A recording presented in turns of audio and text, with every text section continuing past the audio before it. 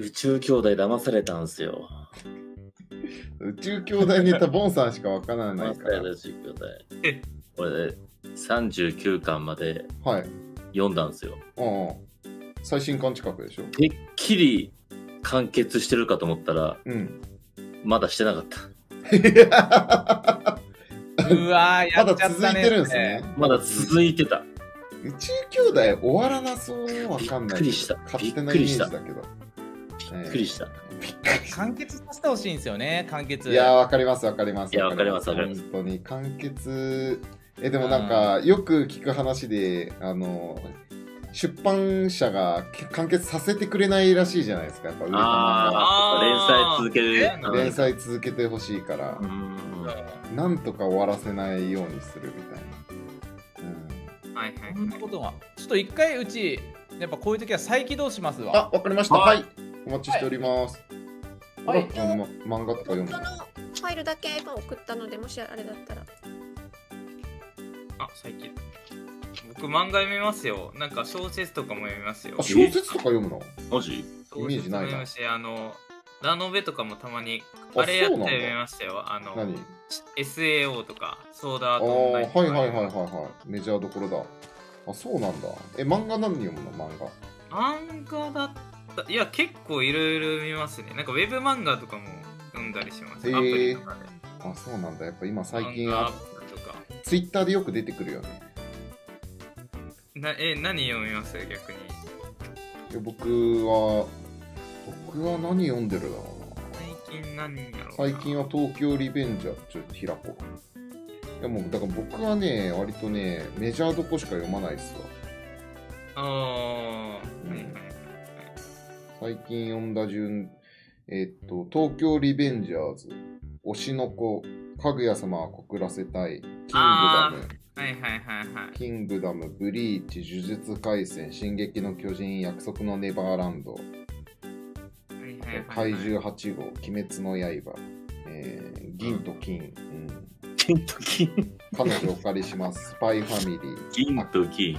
赤木、ブルーブルーロック、ワールドトリガー、アジン、うんはいハンターハンター。ジーね。はいいいねまあまあ、ここら辺ですな。レイヤ様を告らせたら面白いっすよね。かぐや様マジおもろいねあ。れおもろいですね。本当におもろい。うん。かぐや様と、おし推しの子もおすすめ？よ。推しの子は、あ、メンがなんかツイートしてましたね。そうそう、同じ作者の方が。推しの子ってあれどういう作品なんですか、推しの子はね、簡単にせざくっと説明すると、はいはいはい。あの、まあ、芸能界でアイドルがトップを目指すって話なんだけど、はいはいはい。その芸能界で上に人気を得るために、やっぱ今の時代もいろいろ大変なわけよ。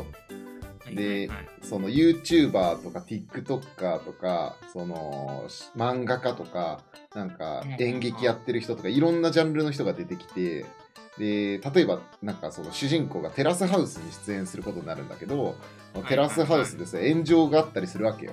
あーはいはいはいそ。ので、だから結構そういう、なんか。赤さんお帰りなさいませ。あ、来た来た来た。待ってよ。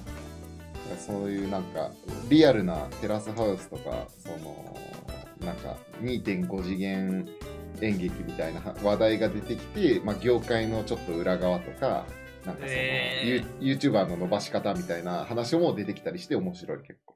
はあ、うんうんうん。読んでみよう。推しの子ですか？推しあ、の子。推しの子です、推しのお子です。推しの子面白いですよね、カズさん。いや、もうあれは面白いよ。あれ面白いですよねえカズさん見てるんですか？いやいや、もうもうもう。えー当たり前よ。YouTuber は見るべき。面白 YouTuber い見ないとダメっすね。うん面白いからうんうんその例えばめっちゃ可愛い女の子がその。ドラマとかに出るんだけどめちゃくちゃカットされたりするんだよね。でななんでカットされれたのってなったらその主役のその要は大手プロダクションが推したいその子より美人な子はなるべく映したくないみたいなうわーそう大人の事情があったりしてでいやーそういうのは当たり前だよみたいな。本当かどうかは知らんけどね本当かどうかはで知らないですよ。はい。もでも似たような話よう聞いたこといや、ありますよよね。あのうん絶対あのグループは背が低いから背の高い子たちとは共演させないよとか、はいはいはい。いや、絶対ある、うん絶対あると思います。はい。別に悪いことじゃないですしね。そう、大手プロダクションがちゃんと売りたい子を売るっていう。はい。あ来たね、世界だよ。ー ボンさんはどうなんですか？そういうボンさんでも、いいや、結構ね、自分より面白い人とは共演したくない。ボンさんはい、自分より面白い人は出すなっていう。うん格下ね。格下で面白いやつ。コラボ相手選ぶ選ぶんでも。はいいい、いいことない、いいことない。そんなマさんとははい。できるだけコラボしえ、なんすかなんすか？高間さん文福高間とは 茶釜と、はい。茶釜ちょっとね、頑張ってますから、最近。はい。ドスボンザレインボーの動画をご覧の皆様よろしければチャンネル登録高評価コメントお待ちしておりますおすすめ動画もよかったら見てね